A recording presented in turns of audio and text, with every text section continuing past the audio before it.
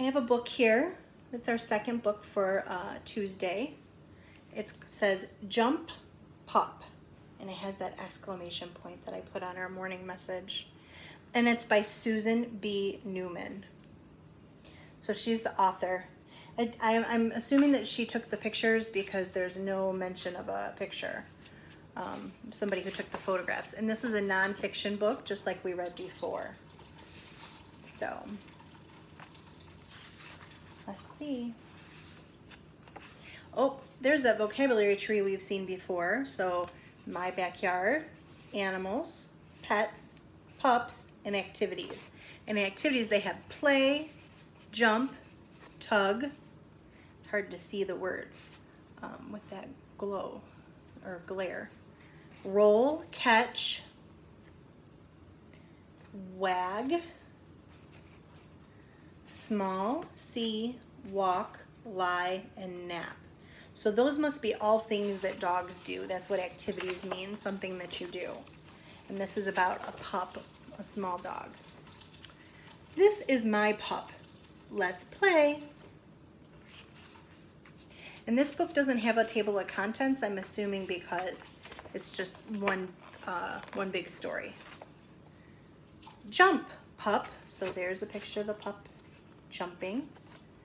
Tug. So tugging means to pull on something. My dog likes to tug on her toys and play tug of war with me. Ooh, when we get back to school, we should play tug of war in the gym or outside.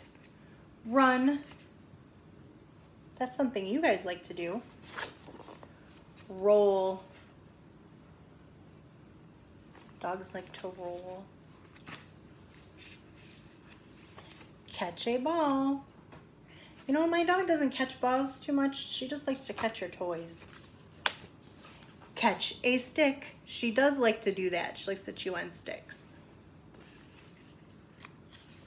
Now I'm going to go to page 10. This book has page numbers on it, in case you didn't notice. Wag your tail. So it's showing the dog's tail moving.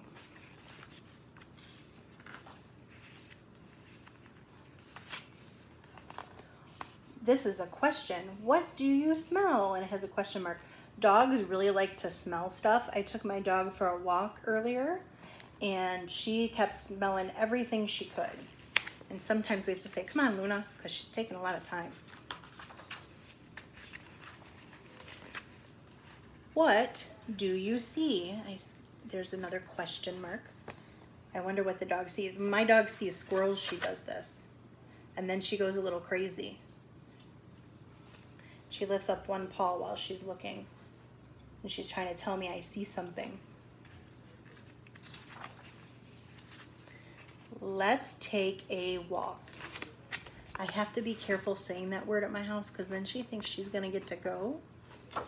So sometimes I have to spell it. W-A-L-K. Because she doesn't know how to spell it. But she knows what the word means when I say it. Let's see some friends. Aw, look. How many puppies? One, two, three, four. We only have two puppies at our house. Lie in the sun. My dog is doing that right now. So I'm gonna try to turn the camera so that you can see her lying in the sun. There's not a whole lot of sun out right now, but she likes to lie in the window and catch the sun rays. Yawn. yawn. People yawn, so do dogs. You just made me yawn. I just made McKenna yawn. This is McKenna. Sometimes you hear her voice in the videos because she helps me. That's my daughter. She said just howdy. Aw, take a nap. McKenna likes to take a lot of naps. Sometimes I take them. She takes them more than I do. Your turn. So what does it say? It says, tell a story about a pup. So you could use these pictures. You could tell a story about taking a dog for a walk, or playing with a ball or rolling over. So, after reading this book, I would like you to tell a story about a dog to somebody. Maybe you could draw a picture to go with your story. Bye. See you next time.